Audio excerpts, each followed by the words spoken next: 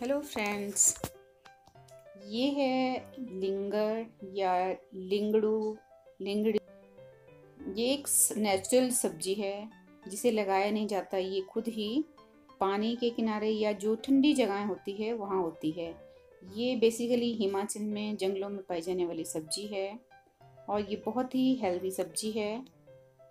इसमें किसी तरह की कोई खाद का कोई इस्तेमाल नहीं होता, क्योंकि ये अपने आप ही उगी हुई होती है।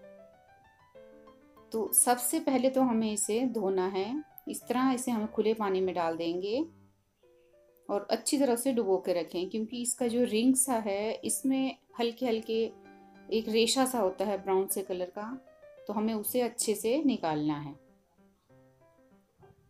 तो इसे हम लगभग आधे घंटे के लिए इसी तरह पानी में भिगो देंगे और उसके बाद हम इसे अच्छे से मसल के जो इस रगड़ेंगे तो उसमें जो बाल से होते हैं हल्के हल्के ब्राउन से कलर के, उसे हमने निकालना है।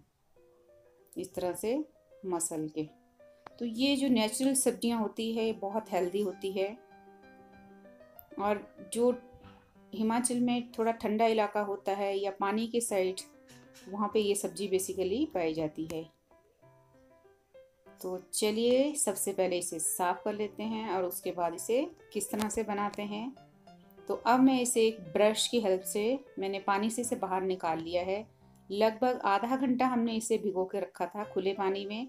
अब मैं इस तरह से एक मैंने ब्रश है, इससे हेल्प से इसके जितने भी आगे जो रिंग सा होता है, उसे हमने प्रॉपरली साफ़ करना है। जो रेशा होता है ये ब्राउन कलर का, मेन उसी में होता है। तो इस तरह मैं इसे नल के नीचे ब्रश की मदद से अच्छी तरह से हम रगड़ लेंगे और वो बाल से जो होते हैं रेशा बड़ी इजीली निकल जाएगा। तो अब ये धो के बिल्कुल हमने इसे साफ़ करना है।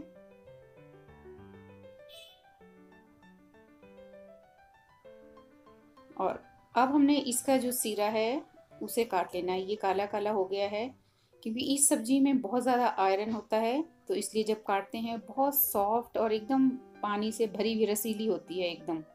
तो बहुत ही इसे थोड़ा सा सीरा निकाल देंगे, जो ब्लैक ब्लैक हो रहा है, और उसके बाद हम इसकी कटिंग कर लेंगे। तो अब हम इसे अच्छे से एकदम बारीक करके काट लेंगे। कई बार कुछ पीसेस पके हुए भी होते हैं तो उससे हमें एक रेशा सा निकालना पड़ता है, जैसे बीन्स से हम निकालते हैं धागा। लेकिन ये काफ़ी सॉफ्ट है तो इसमें इस तरह की कोई रेशा नहीं है। और बहुत ही आसानी से इजीली कट रही है। और देखिए कितनी अच्छी कट गई एकदम बारीक। तो जितनी बारीक हमारी सब्ज़ी कटेगी, उतना ही अच्छा उसका टेस्ट आएगा। तो सा ये लिंगड़ू जो है, कट के तैयार है। इसे डिफरेंट नाम से जाना जाता है, हर जगह अलग नाम होता है। तो कढ़ाई हमने गैस पे रख ली है और मैंने इसमें दो तीन चम्मच सरसों का तेल डाल लिया है। अब हम तेल को अच्छे से गर्म करेंगे धुआँ आने तक। और तेल गर्म हो चुका है तो मैंने इसमें डाल लिया एक चम्मच साबुत जीरा तो जीरे की हम अच्छे से बुनाई कर लेंगे। जैसे ही जीरा गोल्डन हो जाएगा, प्रॉपर फूल जाएगा। तो ये है मैंने प्याज। मैंने दो तीन प्याज लंबे लंबे स्लाइसेस करके काटे हैं। प्याज मैंने इसलिए इस सब्ज़ी में ज़्यादा डाले हैं क्योंकि इसका अपना थोड़ा अलग सा डिफरेंट सा, हल्का कसेले टेस्ट पे होती है। तो इसलिए प्याज जो है उस टेस्ट को चेंज कर देता है तो इससे प्याज से थोड़ा मीठा बना जाएगा। तो इसलिए मैंने इसमें ज़्यादा प्याज ऐड किए हैं। और एक मैंने हरी मिर्ची डाल ली है। मिर्ची आप कम ज़्यादा अपने टेस्ट के हिसाब से कर सकते हैं। प्याज को हमने बहुत ज़्यादा नहीं भूनना है, हल्का सा कलर चेंज करेंगे और फिर हम हल्दी और मेथी दाना और धनिया पाउडर और थोड़ी सी मैंने कूटी हुई लाल मिर्ची डाली है। तो मसाले आप कम ज़्यादा अपने टेस्ट के हिसाब से कर सकते हैं। अब मसालों को हम अच्छे से भून लेंगे। और लो फ्लेम पे ही मसालों को भूनना चाहिए ताकि मसाले जले ना। अगर मसाला जल जाएगा तो उसका प्रॉपर टेस्ट नहीं आ पाता। और अब हम जो सब्ज़ी हमने काट के रखी है, लिंगड़, उसे इसमें डाल लेंगे। तो ये इसका जो मार्केट में आने का स्मेल लिंगड़ का, वो इसी समय आती है। मई के महीने में ही मोस्टली और ये पूर्णतः नेचुरल सब्ज़ी है। ये जंगलों में ही पाई जाती है, इसमें कोई खेती नहीं होती है इसकी। तो अब हमने इसमें डाल लिया है नमक। नमक आप स्वादानुसार और सब्ज़ी की क्वांटिटी के हिसाब से डाल सकते हैं। अब हम इसे अच्छे से मिक्स कर लेंगे। ताकि नमक इसमें अच्छे से मिक्स हो जाए और अब मैं इसे ढक दूँगी।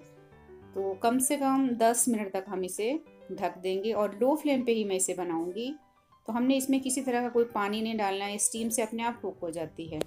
10-15 मिनट में सिम पे आराम से ये कुक हो चुकी है बहुत अच्छे से। और ये है दही, एक कटोरी दही तो इसे हम अच्छे से फेंट लेंगे। अब मैं लगाने वाली हूँ दही इसमें। दही डालने से पहले सब्ज़ी को पहले ठंडा कर लें। गैस का फ्लेम मैंने बंद कर चुकी हूँ और इसे मैंने ठंडा कर लिया है। और ये है एक चम्मच नारदाना पाउडर। तो नारदाने की जगह आप amchur powder, mango dry mango powder भी यूज़ कर सकते हैं। तो इससे सब्ज़ी का जो जायका है, काफ़ी अच्छा आता है और जो कसेलापन सा होता है, वो आपको बिल्कुल भी नहीं लगेगा।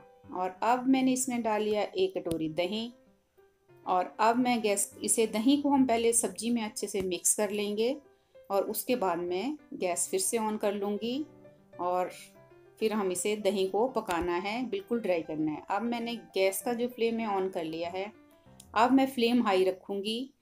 किसी भी सब्ज़ी में जब आप दही ऐड करें तो सब्ज़ी को पहले ठंडा कर लें, उसके बाद उसमें दही डालें तो मैंने इसे पहले ठंडा कर लिया है और अब दही मिक्स करने के बाद मैंने गैस को ऑन कर लिया फिर से और अब मैंने रखा है हाई फ्लेम क्योंकि एक कटोरी दही का इस्तेमाल किया है मैंने और इस दही को हमने बिल्कुल ड्राई करना है। तो इस तरह लगभग तीन से चार मिनट में दही एकदम ड्राई हो जाएगा। ये देखिए, बिल्कुल ड्राई हो गया है। हमें इसे बिल्कुल सुखाना है और इसी तरह इसे हिलाते हुए इसकी सब्ज़ी की भुनाई हो जाएगी। दही लगाने के बाद इसका टेस्ट काफ़ी अच्छा आता है। और मैंने अब इसमें दो तीन चम्मच हरी धनिया पत्ती डाल ली है। तो थोड़ा सा हम इसके बाद इस तरह धनिया जो अभी हम डालते हैं तो मैं अभी इसकी थोड़ी सी बुनाई और करूँगी। इस तरह पहले डालने से धनिया का बहुत अच्छा फ्लेवर आता है। बहुत ही अच्छी महक आएगी। तो जो लिंगड़ का अपना जो नेचुरल स्मेल है, वो बिल्कुल नहीं आएगी। तो इस तरह से आप इसमें पकते हुए दो तीन चम्मच या ज़्यादा भी डाल सकते हैं आप।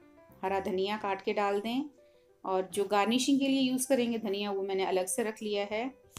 अब इस सब्ज़ी में जो भी टेस्ट आएगा, धनिया का बहुत स्ट्रॉन्ग फ्लेवर होता है तो वो लिंगड़ का जो नेचुरल फ्लेवर है, वो इससे एकदम गायब हो जाएगा। जो स्मेल सी होती है इसमें एक अलग सी। और अब इसमें मैंने एक चम्मच डाल लिया है गरम मसाला। तो सब्ज़ी हमारी बिल्कुल तैयार है। दही आप देख सकते हैं, बिल्कुल टोटली ड्राई हो गया है। और दही इस तरह जो दही वाली हम सब्ज़ी बनाते हैं, उसका टेस्ट बहुत अच्छा आता है। तो सब्ज़ी हमारी जो है सर्व करने के लिए तैयार है। अब आप इसे दाल, रोट सॉरी रोटी, चपाती, चावल, हर चीज़ के साथ ये बहुत अच्छी लगती है, पराठे के साथ भी। और चावल के साथ तो इसका बहुत ही अलग टेस्ट है। तो अब हमने इसे हरी धनिया पत्ती से गार्निश कर लिया है। और अब मैं इसे सर्व करने वाली हूँ चावल के साथ।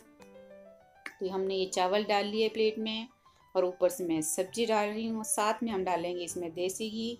अब इसका जो चावल और घी के साथ इसका कॉम्बिनेशन बहुत अच्छा होता है। तो आप इस तरह ज़रूर ट्राई करें। वीडियो अच्छा लगे तो इसे लाइक करें शेयर करें और चैनल को सब्सक्राइब करना ना भूलें। तो ये रहा दही और लिंगर चावल के साथ और घी डालिए तो बहुत ही गज़ब का टेस्ट होता है। तो आप इस तरह ज़रूर ट्राई करें। और वीडियो अच्छा लगे तो लाइक करें।